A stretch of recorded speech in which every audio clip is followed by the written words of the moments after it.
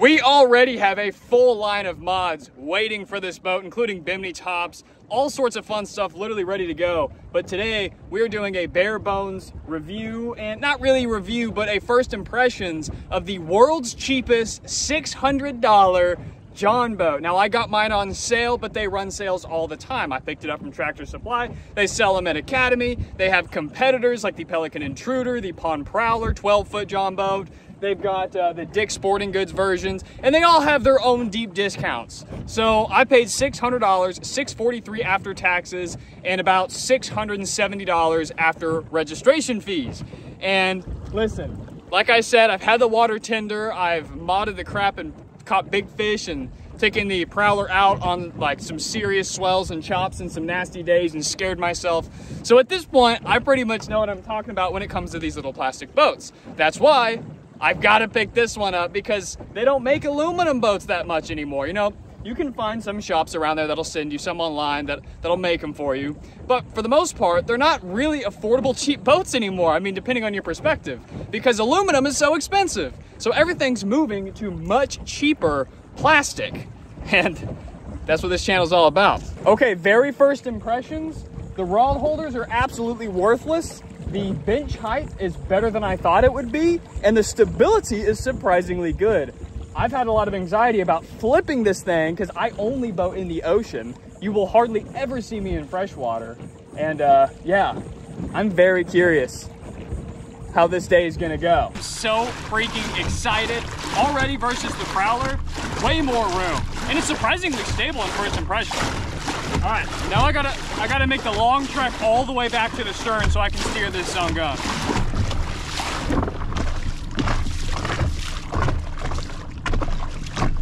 And another immediate thing that I have uh, realized, there are zero cleats that come on this boat. So I can't anchor at all. I mean, I knew that, but I can't anchor at all. So that, that's one thing, but let's see how this thing actually fishes as I am gonna modify this to be a ocean-worthy fishing vessel. All right, let's stand up. Honestly, it's really stable, but very first impressions, this floor is absolutely horrible. Now, it's good for water pooling in so it doesn't get everything wet, and also it is for rigidity, but man, that is unbearable. Let's see, we're gonna do a stability test later, but let me just pop up here. Oh, that's way better. That is significantly better. All right, this is how we're gonna fish. I'm telling you right now, this is the spot to fish, folks. This is very comfortable. Now we are at a very calm day. I wanted to give it a fair shake because to be honest, most of you are not gonna be putting this boat on the ocean or the bay or major channels like I do every day. So it's not that big of a deal, but we will be doing rough water tests. Now, if I'm shooting you completely straight, I do think you're gonna pay more than $600 if you don't wait for a nice sale. I was gonna buy it anyway, but I think the good Lord told me, hey, you need to buy this boat because the Prowler's done and people are sick of seeing the same mods on the same boat, right? So for the overall price, under $700 out the door after taxes and after registration fees is definitely the world's cheapest Jon boat. I just saw it blow up on the surface over there, so we're gonna cast a little bit past it. But overall, there is so much room on this compared to the Prowler. And the fact that it is wider and it is bigger, it makes up for some of the stability uh, that people have issues with since it's a flat bottom. Guys, I'm not gonna lie, I am in a very, very good mood because I am very happy with my purchase. Now, as you guys know, we do work with a lot of companies and most of the modifications you see on my boat are for free. But rest assured, I paid my own money for this boat. So I am really curious to see, you know, after a while, what I really think of this boat. But my first impressions are better than I thought. I really did not think that I would be able to stand up here and fish comfortably based off all of the reviews. Now granted, I am 6'1", I am in really good shape, and I did action sports since I was 15, and that's how my first business was action sports skateboarding, so my balance is really good. So please keep that in mind. Don't just do this if you're 250 pounds, 55 years old, and expect it to be just completely blown away as I am today. Man, look how beautiful this water is. You couldn't have asked for a better day. Thank you, Lord. It is gorgeous. All right, so another reason that I wanted this boat over the Pond Prowler, actually, you know what? Let's move up here. Let's see how the stability is when the beam is a slightly, a little bit more narrow.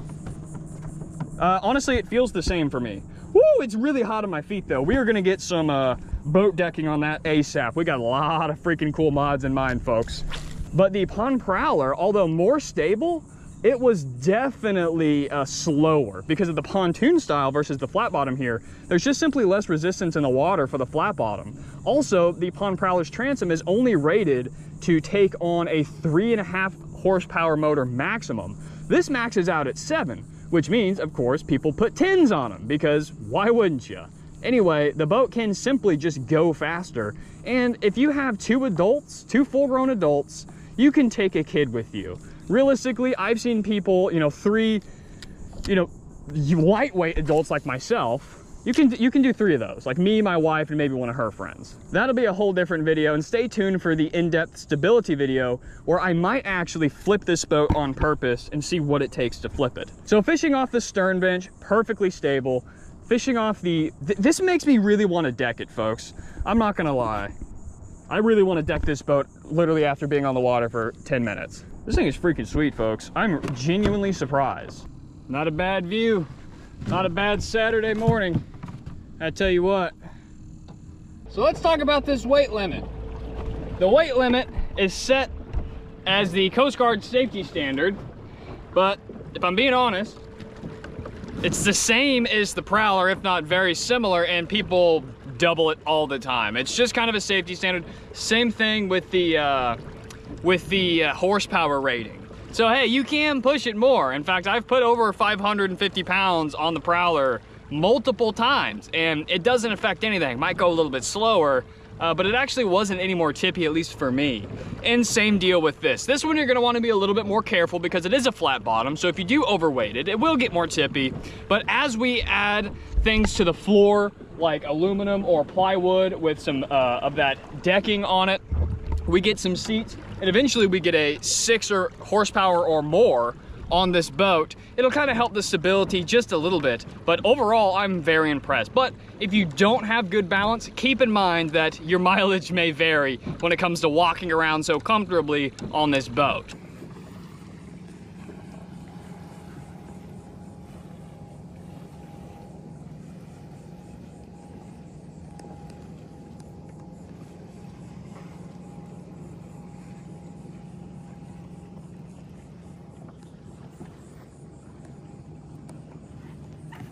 Point being, great value for the money.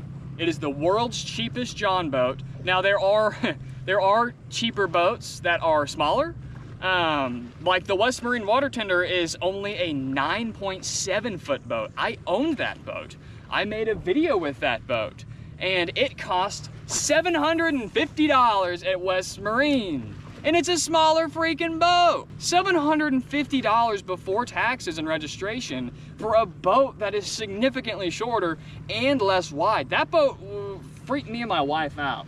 We did a uh, choppy water, rough water test with it and it did not perform well and I sold it very quickly and I'm not the one to sell boats. I like to keep all my toys. So the fact that this costs less, even at the $700 price, costs less and you get way more potent, it's just flat out a better boat. All right, guys, I have to do something real quick. I have to freaking do something real quick. Oh, good Lord. Whew, we gotta hop out and we gotta get in the water, folks. It is dangerously hot with zero winds. Come with me, look at this. Look at how freaking awesome today is, folks. Bless the Lord. All right, Let's see how, uh, I think I'm just gonna get off in the front, honestly. Oh, oh, that's nice and cool. Except we got the freaking shallow water alarm going nutso. Oh my gosh. This is actually working out good. I don't see any stingrays, so I should be pretty safe. Ah, except a freaking bee on my hat. It is so hot, my cameras are alternating between heating up to the point where they just shut down my phone and my GoPro. That's how freaking hot it is out here, folks. But look at this boat, man. Look at this boat. We're gonna make a full video on how I trailer it with a only an eight foot uh, utility trailer here soon. And this is part of my apparatus to make it work. But didn't this thing just flat out look awesome? Now the Prowler looks cool, but this looks, in my opinion, cooler. Look at all this bait right here. Ton of bait fish. Ton of bait fish.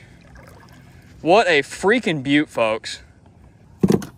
As you can see, I am taking full advantage of the extra room I am not used to and just piling all my crap here. I can't get over this, folks.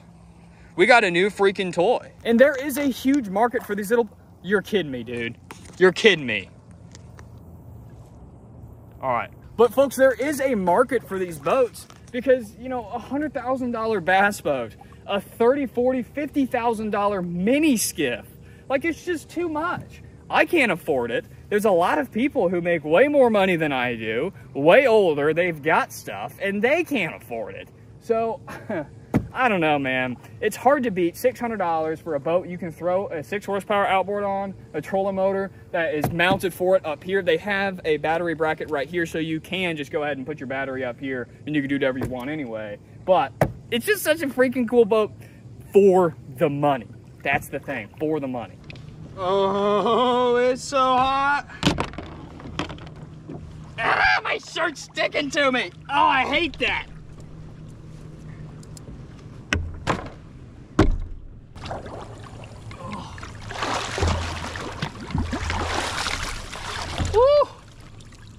Oh, that feels so much freaking better, folks. This is why we need a bimini top. I can't even film because my GoPro wants to give up. Let's get back in this bad boy. I'm gonna try it from the side, see what happens.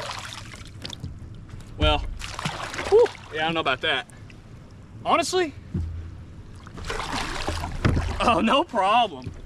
No freaking problem. All right, we're on. We are freaking on, folks.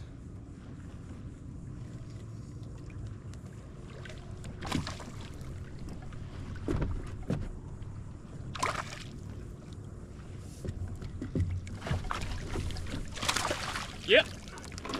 That's how she freaking goes, dude. That's why we buy these. Shh. Trout. That's what we're here for, baby.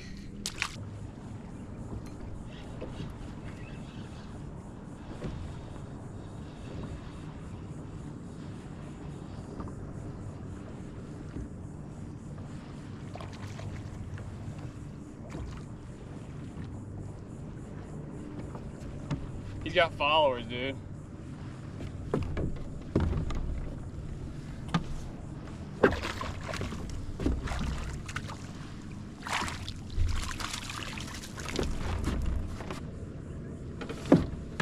We got another trout here. I manhandled the first one just to show you on the camera, but from now on, we are going to be doing some safe releases. So, which is not fun to watch. It involves being in the water. So, just wanted to show you the trout. Something stinks, dude. Something freaking reeks like poop. Here comes some really good wake. We'll take it on broadside and we'll see what happens here. Let's see what this nice wake broadside will do to us.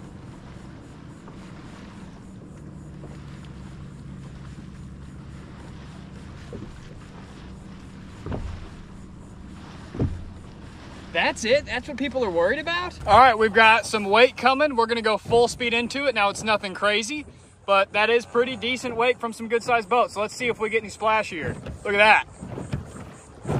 Oh yeah, like a freaking champ. Now those waves, they never really show on the wide angle here, but those were some decent, that was some decent wake right there. Oh, we got a crab pot. Let's avoid that. But that was pretty well. So far, we've taken pretty decent sized wake broadside and straight on. And we took on zero water and it really didn't affect the stability. And I'm very impressed. Folks, I've been catching trout, but this is not a, a fishing video. So I am going to cut a lot of that, but we are going to make a lot of fishing videos out of this boat. You better believe, bye. Anyway, I do need to head back. Dadgummit. There was a blow up right there. Hold on. I think I've got all of the first impressions I need to get out of the way. And that's great because I'm going to take it out again, review it, and then we are going to do the pros and cons. We're going to compare it to the Pond Prowler. We're going to do a stability test. And then the world of mods commences. So if you want to stick around for all these different performance tests, reviews, comparisons, as well as the full mod start to finish, hit that like and subscribe button. That's what we do. Tiny boat fishing. That's what it's all about. On a budget. That's the thing. We got to make it as cheap as possible. Anyway, folks. Oh, my motor's on. That's why I'm freaking moving. Anyway, see you next time.